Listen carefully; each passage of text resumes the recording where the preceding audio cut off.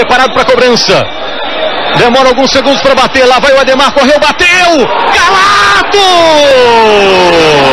Galato faz a defesa, salva o Grêmio! O Náutico perde o segundo pênalti no jogo. No mundão do Arruda, o torcedor do Santa Cruz comemora. Aí não... E agora veja o prejuízo daqueles jogadores que cavaram as penalidades máximas, né? Sai a cobrança para a área. Olha só em Porto Alegre o torcedor comemorando, não acredita o torcedor do Grêmio. O Grêmio com quatro homens a menos no final do jogo. Vai ter que suportar a pressão por 10 minutos ou um pouco mais do que isso. Está aí a falta cometida em cima do Anderson. Pinta o cartão para o Batata.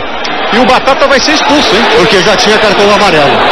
Então a diferença que era de quatro jogadores a menos, agora passa para três. Está expulso o Batata e comete também uma irresponsabilidade, Noronha, nessa situação que o Náutico vive agora. Incrível, o Náutico perdeu dois pênaltis do jogo, o torcedor está calado. Tá, é para os jogadores aí devem estar com os relos. Olha o Anderson entra na área, o Anderson pode levar para a perna direita, passou! Gol!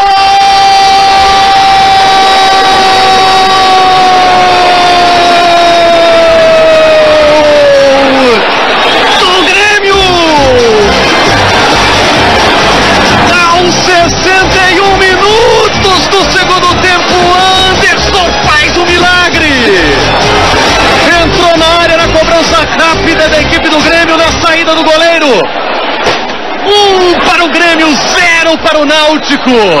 Cobrada a falta, bola pro Anderson. Fechou pra dentro da grande área. Entrou livre, vai marcar o gol. Atenção, tem apenas o goleiro, tirou gol! Gol!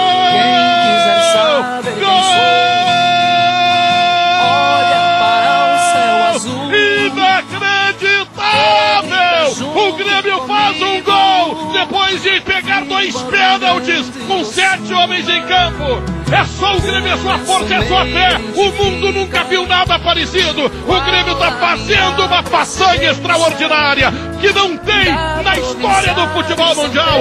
O Grêmio está na primeira.